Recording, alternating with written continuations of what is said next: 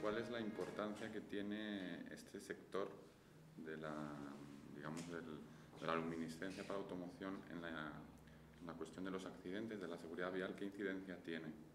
¿Cuál es su importancia? Bueno, la iluminación es fundamental para la conducción. Eh, siempre ha sido un elemento fundamental en la seguridad del tráfico. Eh, no es lo mismo un tipo de iluminación o de otra, llevar la iluminación bien regulada que no regulada. Esto siempre ha sucedido. Y actualmente, además de ser una necesidad de la circulación y de la seguridad con los referenciales correspondientes, se ha convertido en un eh, tema estético y de diseño para los constructores de automoción y para los consumidores finales.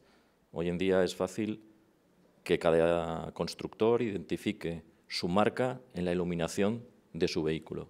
Eso ha hecho a nosotros, como proveedores de este sector, estar muy al tanto y muy a la última de todos los movimientos estéticos y tecnológicos que nos han llevado a la situación actual. Hoy por hoy suelo decir muchas veces a nivel vamos a divulgativo que si eres un poco aficionado a los vehículos y te gustan los coches, eres capaz por la noche de saber qué coche viene enfrente aunque no veas el logo.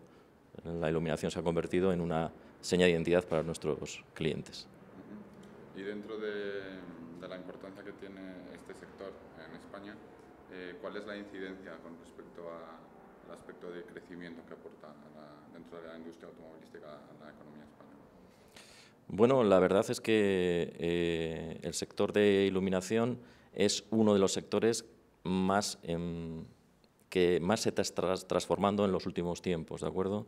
Muchos proveedores ya están llegando, además de a nuevas tecnologías, a nuevos sistemas de iluminación. Esto está evolucionando de manera exponencial y eso va a traer ah, al sector a unos umbrales diferentes que no conocemos. En los últimos cinco años se ha producido un cambio en la iluminación que ha pasado desde las lámparas halógenas a los nuevos proyectores Matrix Beam o láser.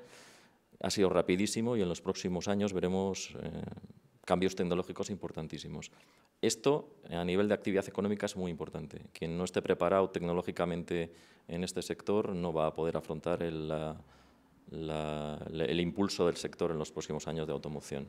Y como digo, esto no se para. Ya hay en el mercado eh, proveedores de imagen, no de iluminación, que están entrando en el mundo de la iluminación. ¿eh? Eh, empresas como Samsung o como LG están interesadas en, en el mundo de la iluminación para automoción, lo cual nos hace a todos pensar que detrás de esto no solamente hay un negocio hoy, sino que habrá un negocio en el futuro.